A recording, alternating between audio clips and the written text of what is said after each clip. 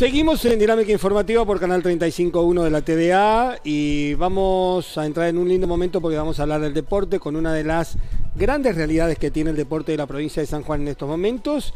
Eh, Melina Bretillot, que es eh, una campeona y subcampeona. Campeona en Córdoba de eh, WMX, estamos hablando del motociclismo obviamente, y subcampeona argentina también en los años 2014, 15 y 19.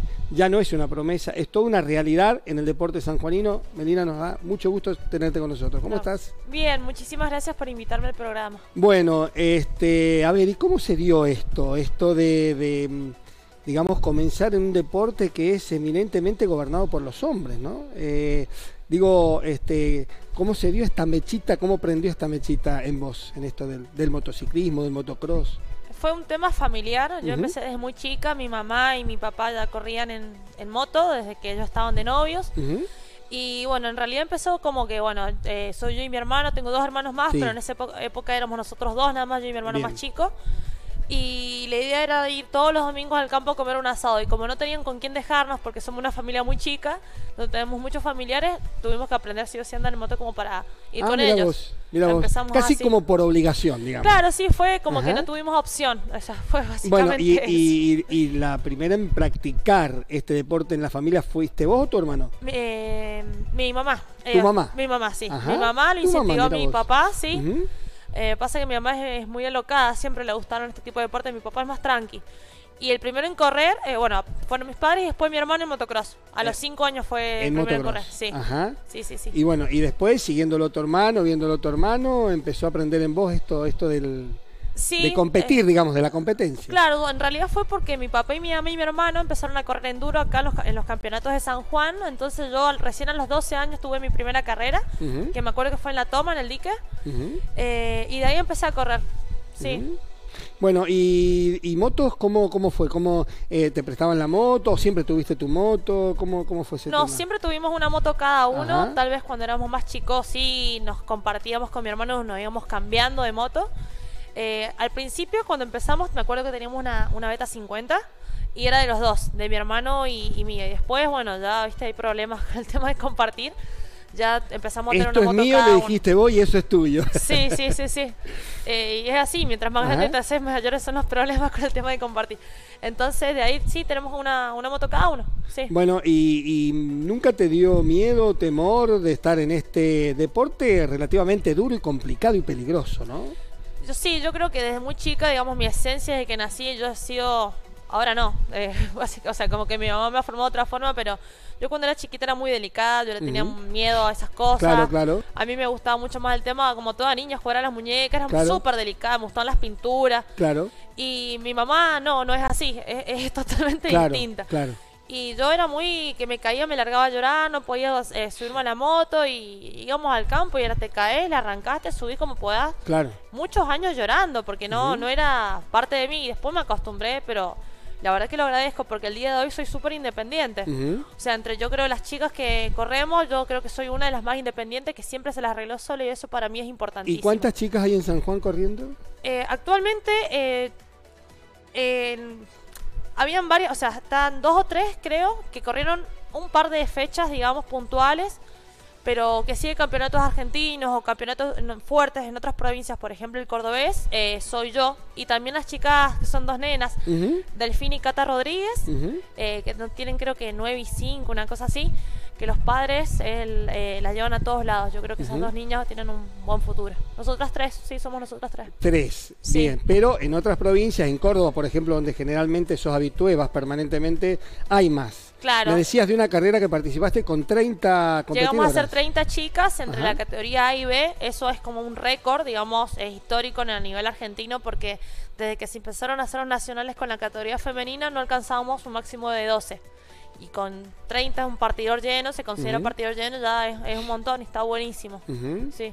Bueno, y a medida que pasaban los años, te iba gustando más, ibas practicando y ya comenzaste a practicar los nacionales, y digo, participar de los de los nacionales, ¿cómo se dio eso? ¿Fue por invitación, por inscripción, te, te llamaban?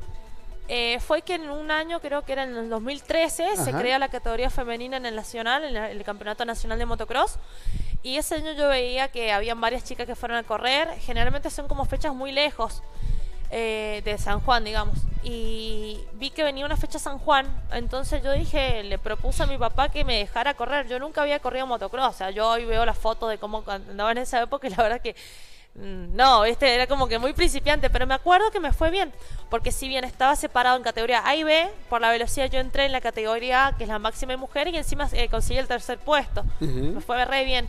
Y habían chicas de Chile, me acuerdo corriendo, estaba Dalila, que es varias veces campeona ¿Dónde fue eso? ¿Acá en San Juan? Acá en San Juan, sí. sí. sí. fue una fecha que fue acá en San Juan. Y desde esa fecha empecé a correr todos los argentinos de motocross. O sea, corrí eh, 2014, 15 16 lo empecé, pero me, me quebré. el 17, 18 dejé la moto.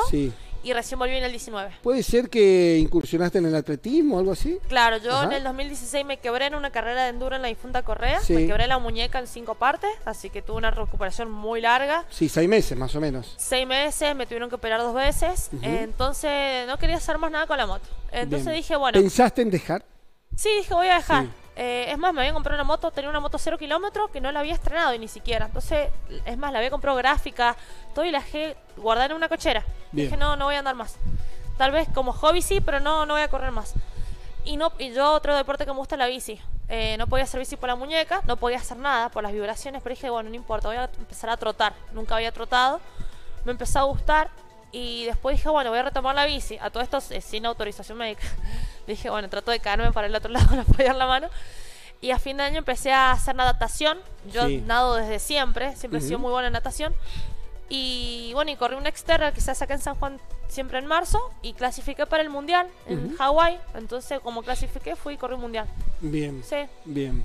Y es como que te agarró miedo la moto después de la, de la quebradura que tuviste. Después de una caída fuerte que este año me pasó con una, una, caída muy fuerte que tuve en una de las fechas, siempre como que agarras un resentimiento, un poco de miedo.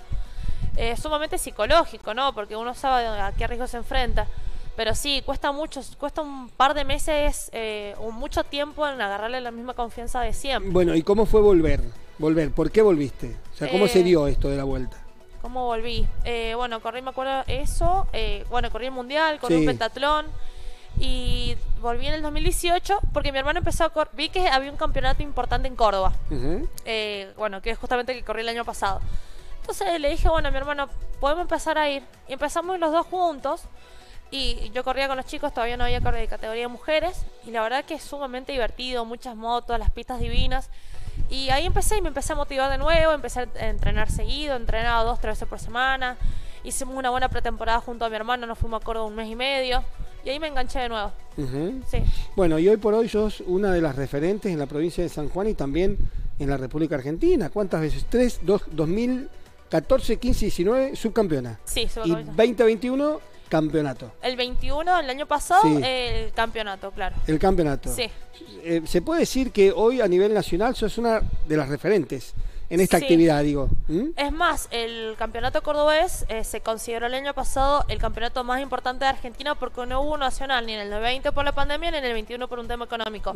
Entonces iban los mejores pilotos de Argentina, de Uruguay también. Eh, como estaban todos los nacionales, era básicamente un nacional con más categorías, nada más. Entonces sí, es como un campeonato argentino lo del año pasado. ¿Y, cómo se puede eh, clasificar o considerar, digo, el, nivel sanjuanino?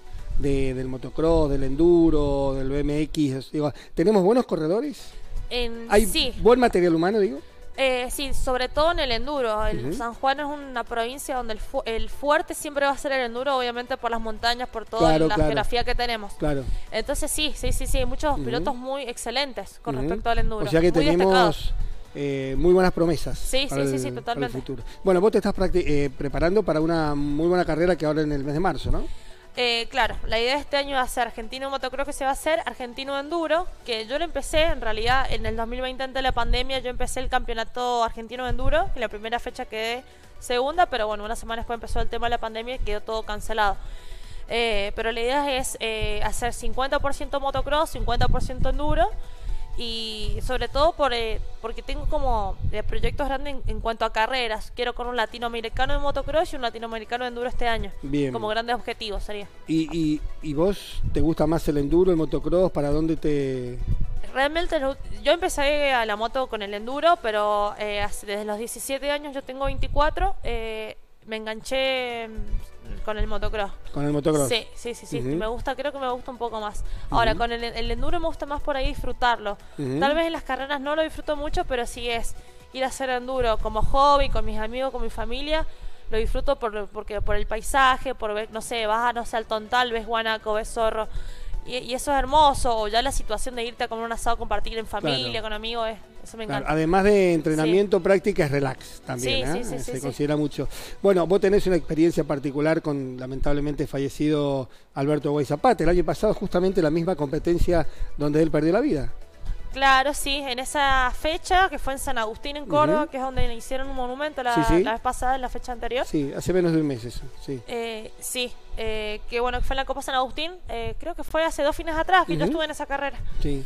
Eh, bueno, eh, fuimos eh, cuando tuvo el accidente, que fue el 4 de abril del año pasado, eh, hab- hab- habíamos ido en esa oportunidad muchos pilotos de San Juan, que son la mayoría de los que corren en Mendoza. Y yo salí, me acuerdo que salí yo de la de mi carrera, de mi manga, que fue la primera manga de, de mi categoría, que la había ganado. Y me paro justo donde estaba el Alberto porque mm, se me había salido el asiento. Y era chistoso porque dos fechas anteriores también se me salió el asiento. Entonces me dijeron, otra vez se te va a salir el asiento, aprende a ponerlo bien. Tanto año de moto y no sabes poner el asiento a la moto. Y estuve hablando con él, me dio un par de consejos eh, con el tema de decir, mirá, en esta parte le regalabas mucho en la curva, te podría haber pasado, tendrías que haber hecho esto. Estuvimos hablando de esos temas, después me ayudó a poner el asiento. Y me acuerdo de ese día, bueno, siempre es como muy característica la sonrisa y la buena energía que tiene el güey. Yo creo que todo el mundo que lo conoce lo, lo reconoce y se acuerda de él Bueno, por eso. vos eh, leí algo donde vos habías comentado que ese día específicamente te llamó la atención eso. Sí, estaba muy contento. Yo hace mucho que no lo veía. O sea, siempre nos hemos Claro. encontrado en entrenamientos, en carreras, porque estábamos en el mismo ambiente.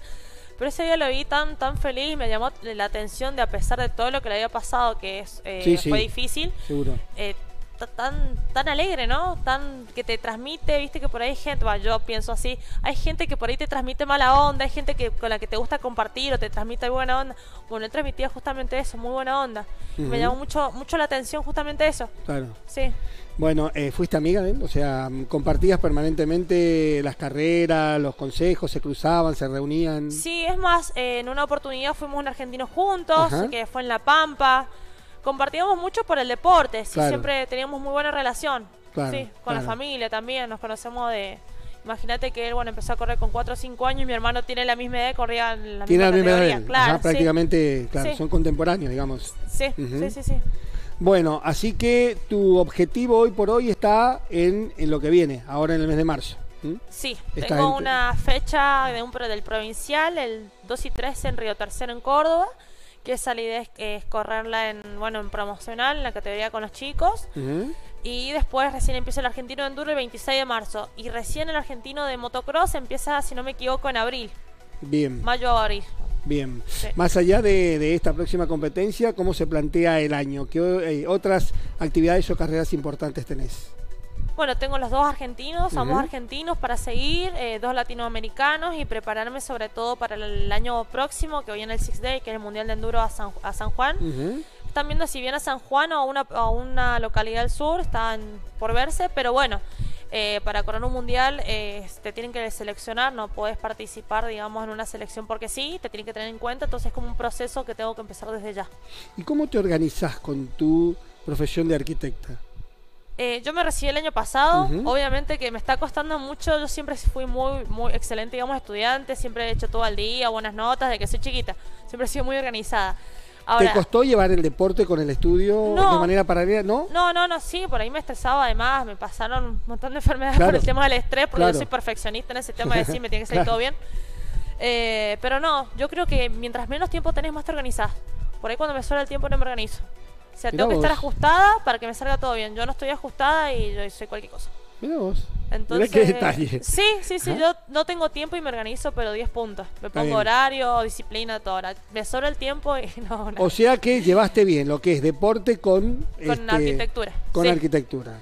Y con el tema laboral, obviamente que me está costando. ¿Viste que todo el mundo te dice lo difícil estás cuando terminas de estudiar? Bueno, es verdad. Sí. Así que recién estoy empezando. Sí estoy trabajando. Los negocios de mi papá, pero bueno, yo la idea es hacer algo independiente relacionado con la arquitectura. Con tu trabajo, Sí, sí, sí, específicamente. Y este, pero hoy por hoy muy abocado al deporte. Eh, sí, trabajo, trabajo, bueno, lo que me exige, obviamente, bastante hora para tener un sueldo para poder darme los gustos, porque mi papá no es que, no, no es eso que te apoyan al 100%, es si no trabajas no tenés, que me parece excelente. Bien. Y sí, me tomo mis tiempos para entrenar, generalmente entreno en las siestas, de lunes a sábado, entonces voy a trabajar, entreno en la siesta y en la tarde vuelvo a trabajar. O sea, ah, bien, o sea, Sí. doble jornada laboral y en la siesta entrenamiento. Sí, sí, sí, sí.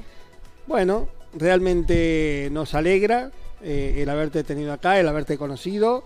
Este, y evidentemente el hecho que seas ya una gran figura del deporte sanjuanino no- nos llena de orgullo y te deseamos toda la suerte del mundo para lo que viene. ¿Hablaste de panamericanos, sudamericanos? ¿Hablaste? De latinoamericano. De sí. latinoamericano. ¿Dónde es eso? ¿Dónde va a ser? El de enduro ya está definido, es eh, en agosto, no me acuerdo qué semana, pero ya está definido que es en agosto en Chile. Está bueno porque está cerca. Claro. Y el de motocross todavía no se define ni fecha ni lugar, generalmente es en octubre, el año pasado fue en México. Entonces debe ser por ahí, siempre cambian los países de la fecha. Bien. ¿Y de San Juan vas vos solamente? Eh, ¿Qué cosa? ¿El Eh, campeonato en el campeonato, sanjuanino? digo. sí. Eh, O sea, de la provincia de San Juan, digo, a participar de ese campeonato. No, sabes Latino, que está ¿no? bueno porque hay una chica que se llama Maribel Giordani, Sí. eh, que anda en moto también, corre, es más, es campeona latina de enduro, Ujú. Eh, que está organizando y está creando un grupo muy lindo con el tema de las mujeres para fomentar la participación de mujeres en argentinos, en carreras y en el latinoamericano. Entonces ha hecho eso exclusivamente, tiene la intención de crear dos categorías en el, en el argentino enduro, que actualmente hay una, para fomentar la participación, porque es muy notable la diferencia de nivel entre mujeres, se nota mucho. Ya que hay dos categorías, con los chicos viste que hay miles de categorías. Claro, claro. Y, y así también se hace un seleccionado para que nos aporten ayuda para poder así correr los Y cuando compiten con varones, ¿se nota la diferencia, el mejor nivel de los varones, por ejemplo? Yo he notado personalmente que sí mejora mucho más rápido. Eh, es increíble. Eh, Yo creo que como mujer tenés que entrenar el doble como para poder pelear algo.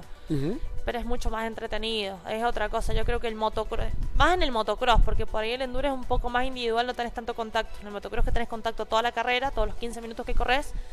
Eh, sí, es como que el roce, tenés que ser agresivo, tenés que estar más despierta. Yo creo que el motocross se vive bien cuando corres con hombre, no con mujer. Bien, el consejo que vos le darías a, la- a las pequeñitas, aquellas eh, chiquitas que tienen intenciones de, de participar en este deporte es que se metan, que lo vivan con felicidad, con, con- con- con muchas ganas de, de- de- de que las cosas les salgan bien, ¿no? Sí, yo creo que lo principal para que te vaya bien y, lo- y justamente para eh, llegar a grandes logros o ver avances rápidos que te va bien es disfrutarlo, porque si vos lo haces y no lo disfrutás, yo creo que te estancás. A mí Claro. personalmente me ha pasado, yo soy muy de autoexigirme, obligarme a hacer las cosas, obviamente por el, el ritmo de vida que tuve siempre, que por ahí no te dan muchas ganas de hacer Seguro. algunas cosas.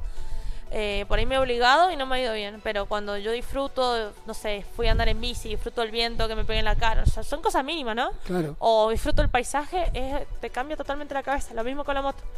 Claro. Sí. Y fundamentalmente pedir a los papás que los apoyen, porque por, ahí, viste, como que se dice, no, ese es un deporte de hombre, no es para las nenas, es como que le cortan las alas. Sí, sí, ¿Mm? sí, el apoyo es fundamental y más cuando sos chiquito. Si ya no te apoyan de chico, yo creo que es muy difícil después llegar a algo. Hay escuelitas, hay lugares donde los pequeñitos, hablo de nenas y varones, pueden em, practicar esto del motocross. Y estaba en su momento la, la de Alberto. Eh, La ahora creo que. eh, no, creo que no. ¿Sabes qué? ¿Mm? Me parece que no. Hoy por hoy no. No. Hoy sí. por hoy no. Bueno, lamentablemente, ya sabe usted, para los próximos años entonces ser este docente de, de las chiquititas. Es ¿ah? más, nosotros con mi hermano para hacer clínicas de motocross tenemos que viajar todos los meses a Córdoba.